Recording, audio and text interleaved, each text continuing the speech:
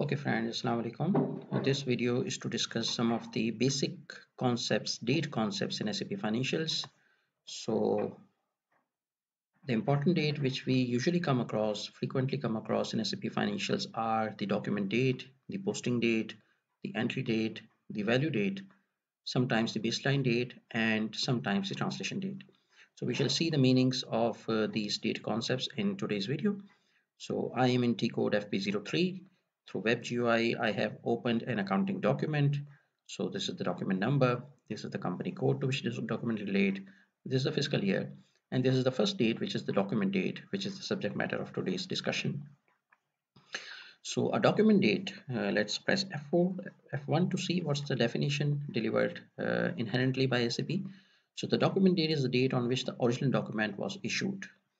So in very simple terms, it is actually the date of the transaction, the date which is uh, there on the source document. So for example, if there is an invoice, then the whatever date is on the invoice is the document date. If there is a utility bill, whatever date appears as the issue date on the utility bill, that's the document date. It is also known as journal entry date. If we use Fiori interfaces of SAP, it is usually now referred to as a journal entry date. But this is a misnomer, journal entry date, because in the accounting literature, journal entry date usually refers to the date in which on which the accounting is being taken uh, care of uh, on a particular transaction. So the second important date is a posting date. So in general accounting literature, the posting date is equivalent to the journal entry date, but in SAP, journal entry date is actually what the document date is. So posting date is the accounting date for the accounting purpose. So if the posting date is December and the document date may be in November, so it means the entry will appear in the ledgers in December. So in usually in accounting, whenever we post, whenever we record a journal entry, we have a date on it and that date uh, is actually the posting date. So it will be reflected in the financial statements uh, of the period of the month in which the posting date falls rather than document date falls. So sometimes it is quite possible that document date is of the previous month and the posting date is of the current month or it can be the other way around. So let's see the inherent help provided by SAP for the posting date. So this is the date is used when entering the document in financial accounting or controlling. Controlling is the cost accounting or management accounting module. So these two are on the very face of the document. Then if we call the document header, uh, we come across uh, one more, one other date, which is known as the entry date. So let's see the definition of the entry date. It is specified the date on which the accounting document is entered. So remember the entry date is actually the date which is captured by the system automatically. It is not prompted to be entered by the user. Whenever a user calls an accounting document and posts an accounting document, he can actually change the document date or he can uh, enter the posting date, whatever it is. But entry date is actually captured by the system automatically. So this is the system date on which the actual entry is made. So being an accounting students, we all know, we all understand that accounting entries are not actually most of the times made in real time. So maybe an, uh, a transaction that occurred yesterday uh, has to be posted on yesterday.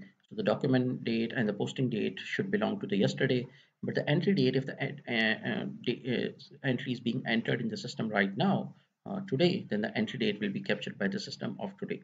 And also the system captures the entry time. So this is the entry date and this is very important date for the audit purposes because if an entry has been entered say months after the posting date or document date this means that this entry has uh, uh, should be looked for um, uh, very carefully because the entries should usually uh, enter in time. So then we have uh, if we go to the individual line item for example so this is the first line item I double click it and I am prompted to a detail screen on which there is a date which is known as the value date. So value date is actually the date for bank accounting purposes. So whenever there is some sort of clearing in a banking instrument, that clearing date is usually referred to as the value date. So it is not relevant for all accounting entries. It, it is only relevant when the bank ledger is being implemented so if a payment comes from say a vendor or a payment is made to a customer then whatever date the actual bank money is transferred is the value date. So sometimes it is captured uh, uh, while the bank reconciliation statement is made or sometimes it can be entered. And finally there is a date which is known as a baseline date. So the baseline date is actually the date from which the credit terms start counting. So for example, if a customer has allowed us, a, we have allowed our customer a credit period of say 20 days, then from which date the credit period starts counting, it may be the invoice date, it may be the goods delivery date, it may be any other date. So that date is actually known as the baseline date. Uh, so this date also is relevant only for the items which are capable of being managed under the open item management or generally you can say it is relevant for transaction with customers or transaction with vendors. So let's see the inherent help of the value date F1. It says that the value date is used in bank accounts and bank subsection accounts. So it is not a very comprehensive definition, uh, very comprehensive uh, help. And again, for the baseline date, the baseline date is the date to which the periods for the cash discount deadline and the due date for net payment refer. This is the case for line items in open item accounts. For line items in GL account, the item is due immediately, so there is no concept of the baseline date.